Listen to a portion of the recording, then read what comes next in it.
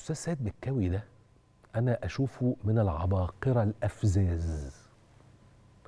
في الموسيقى التلحين يعني وفي الغنى. اولا آه، أقدر أقول لك إنه أنا اتعلمت أسمع مع حفظ اللقب طبعا. سيد مكاوي وأنا إعدادي. وأرجع تاني وأقول لك ريحني الله مش عايز أغني عشان أنا صوتي مش حلو.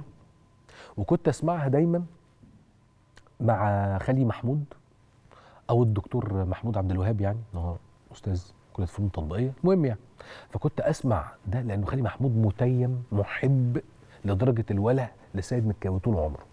فكان خالي ياخدني بالليل نقعد نتمشى بالعربية البيضاء هو طبعا يتذكر ذلك ما أقدرش أقول ماركتها ونقعد نتمشى كانت عربية ستيشن ونقعد نتمشى بالليل في مصر على كوبري أكتوبر ونروح وسط البلد ونروح نشتري عشاء ونرجع ونقعد كده عشوة عائلية ساخنة لطيفة ظريفة لطيفة أكل مصري.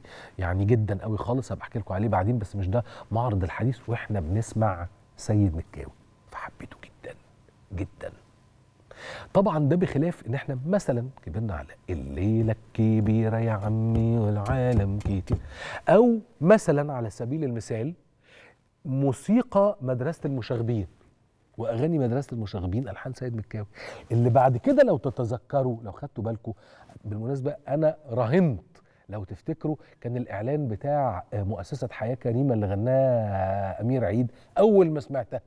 قلت لهم دي سيد مكاوي. كل اللي قاعدين حواليا وقتها وأنا بسمع الإعلان لي لا طب قلت لهم والله العظيم سيد مكاوي في ال في ال في ال في, ال في مدرسة المشاغبين. حلو.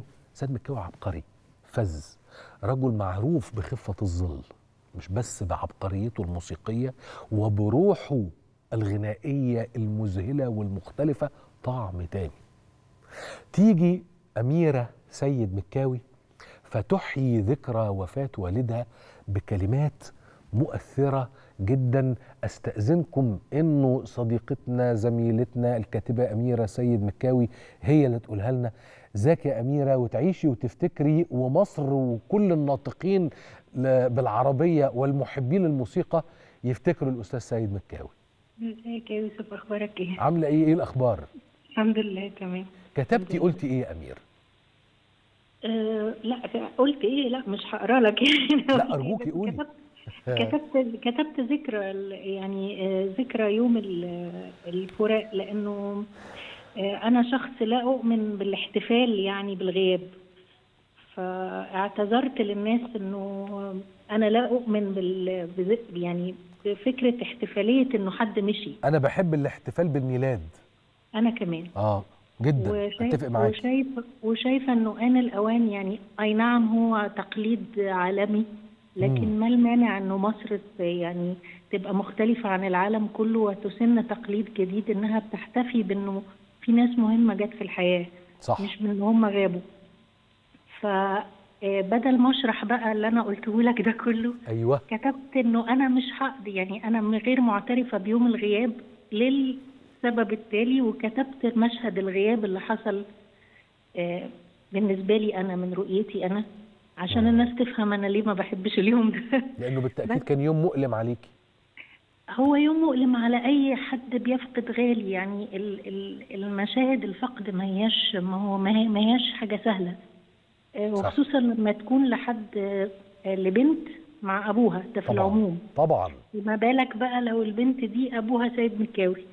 يوه. يعني آه، هذا الشخص المتفرد الحنون الطيب الجميل ال- الموسيقي يعني اللي هو في حد ذاته بغض النظر عن موهبته هو شخص ملهم آه، كإنسان كمان. فأنا بالنسبة لي اليوم ده كان يوم مؤلم ولا يمحى من الذاكرة أصلا يعني. هو كان أب عامل إزاي يا أميرة؟ بص هو هو في خلطة كده غريبة شوية. هو زي كل الأبهات بالنسبة للبنات. يعني دايما البنت بتبقى شايفة إنه أبوها ده نموذج الرجل الأول فهو الرو موديل يعني في كل حاجة. آه، هو لكن هو كان آه، لأنه آه، يملك حاجتين مش موجودين عند الناس كلها إنه فنان وإنه متميز يعني بإنه فقد بصره. هو كان عنده ميزتين زيادة عن كل الأبهات.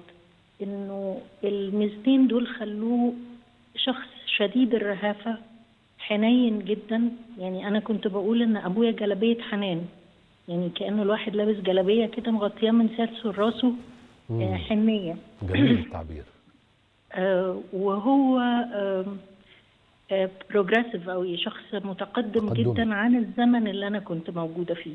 يعني كانوا زملائي في المدرسة وأقراني في الجامعة. آه، أهاليهم آه، صعبين يخافوا منهم يخافوا يقولوا لهم حاجة. أنت عارف الحاجات دي أيوه يعني. طبعا. خصوصا إن إحنا البنات. أيوه. لكن أنا أبويا كان صاحبي. إيه، كان صاحبي لدرجة إنه مثلا أول إيه، مشاعر حسيت بيها في حياتي قلتها لأبويا ما قلتهاش لأمي. لأن هو اللي آه. آه. لأن هو اللي كان أكثر تفهما. أنا أقدر أهزر معاه في أي حاجة أنا أقدر أحكي له أي حاجة أقدر أعمل أي م- مصيبة أو كارثة وأحكيها ونبقى فاهمين هي بتتعمل إيه، ليه وإزاي ونصلحها ونقولها ويعني كده. ما أفتكرش خالص إن العمر اللي أنا آه، يعني شرفت بإن أنا أبقى فيه جنبه إنه زعق مثلا إنه اتخانق. إنه يعني ما عنديش ليه معاه ذكرى فيها أي شيء مش لطيف. خالص. نهائي. يعني حتى زعله وكمان بعد ما أنا كبرت في العمر لما كان بيزعل مني آه، كان عندنا درجتين في الزعل بس. آه. أول درجة إن أنا أنادى باسمي مش باسم الدلع. ينزع من- مني اسم الدلع. فيقول يا أميرة. آه فتبقى ساعتها في مصيبة. يعني آه. و و والموضوع ده مش هزار. يعني كان الإحساس النفسي إنه في حاجة غلط أنا عاملاها وأنا مش مدركة إيه هي أو في حاجة م- يعني في في حاجة كبيرة إنه بابا شال مني اسم الدلع. دي الدرجة الأولى. والدرجة التانية إنه كان بيسكت. يعني مفيش كلام خالص بقى.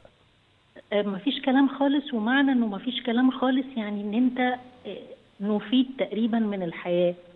لأن. هو موجود في البيت آه، يعني عارف البيت البيت والعيلة شبعانين بيه. أيوه. فهو مفيش تفاصيل هو مش موجود فيها فلما هو يقرر ما يكلمكش فتبقى أنت مش موجود على ترابيزة السفرة. محدش بيسأل عليك أنت ذاكرت ولا لأ. محدش مهتم أنت آه، مش مهم تنزل مم. مش مهم تذاكر مش مهم مش مهم أي حاجة. أيوه. فتحس إن أنت بقيت انفيزبل كده في الحياة فجأة. غير مرئي. خالص. أنت ما- منفي. موجود. أنت مش آه موجود. تماما. آه ف يعني أنت متخيل إن إحنا مم. كنا بنتعامل مع شخص ده شكل عقابه. يعني الله يرحمه يا ف- رب الله الله يرحمه يا يرحمه الله يرحمه.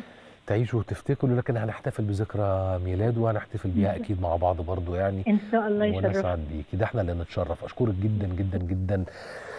الكاتبة أميرة سيد مكاوي.